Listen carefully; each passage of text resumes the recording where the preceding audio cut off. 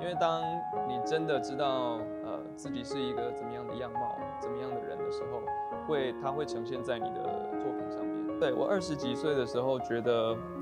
就是所谓的创作歌手，好像是要有一个什么样子。一直到现在，其实我更加的去呃看清楚说，哦，我事实上私底下或者是我真实的样貌是什么样子。我觉得每一张专辑，每张专辑啊，其实比较像是在那个时间点底下我的人的状态。